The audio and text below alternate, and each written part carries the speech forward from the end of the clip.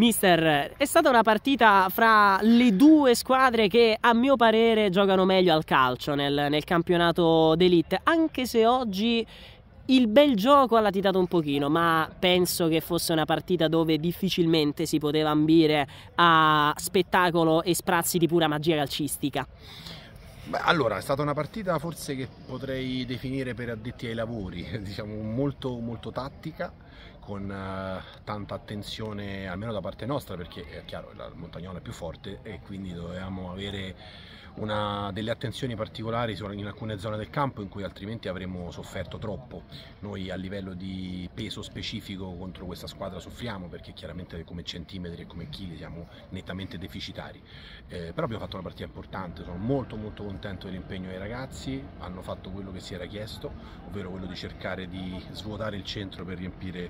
le fasce e cercare appunto dell'attacco della profondità dove potevano essere un pochino più in difficoltà, abbiamo fatto gol così e quindi siamo, sono contento di questo, ma poi soprattutto la squadra ha lottato contro quella che secondo me è una squadra che a livello di rosa è spaventosamente più preparata del, di noi, quindi bravi noi che siamo arrivati ai playoff con tanti problemi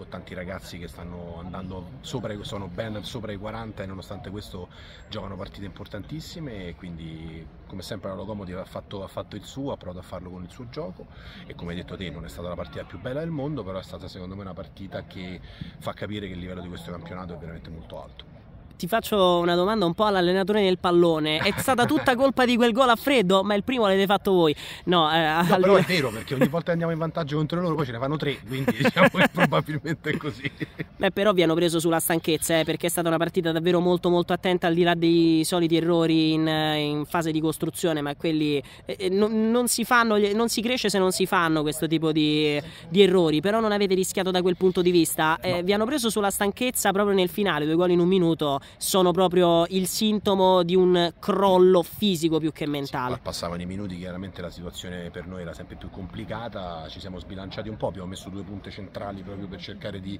riempire un pochino di più l'area di rigore, alla fine hanno fatto anche bene perché qualcosa abbiamo costruito, abbiamo chiaramente rischiato qualcosina in più dietro, ma soprattutto eh, Montagnola ha fatto entrare due frecce tricolori e quindi è lì con i difensori che invece erano un pochino più stanchi, chiaramente abbiamo sofferto, nonostante secondo me la nostra linea difensiva abbia fatto una partita soprattutto, voglio citare Lorenzo Ferrazza oggi che solitamente è molto oscuro come giocatore eh, perché magari non è uno che emerge da un punto di vista qualitativo, oggi secondo me ha fatto una partita strepitosa. E poi eh, ultima disamina, eh, comunque è una squadra che non molla perché al di là di tutto eh, tu sei contento di avere questi ragazzi, ma per l'anno prossimo nella lista dei desideri di Amazon, di Andreozzi... desideri c'è Davide Desideri che è chiaramente la mezzala destra, no beh, noi non abbiamo abbiamo una lista, noi, noi, abbiamo un principio, nel senso se vieni a giocare nella nostra squadra devi venire agli allenamenti, impegnarti agli allenamenti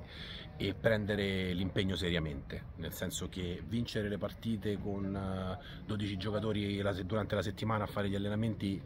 non è il nostro stile, nel senso noi dobbiamo cercare di ogni anno dobbiamo costruire una squadra. Poi che la squadra arrivi settima, ottava, quinta, quarta, poi lo dice il campo come giusto che sia, quindi la lista dei desideri è che ci siano tanti ragazzi che non abbiano voglia di indossare questa maglia che sta diventando una maglia pesante, voglio citare e poi ti saluto Leonardo, grazie, faccio una citazione che oggi a causa dell'infortunio di lunga durata di Vincenzo Barone, Davide Gatta lo supera in presenze 209 contro 208, quindi Vincenzo Barone è passato secondo. Ma che meraviglia, questa è una statistica che a me fa impazzire eh, in fase di cronaca.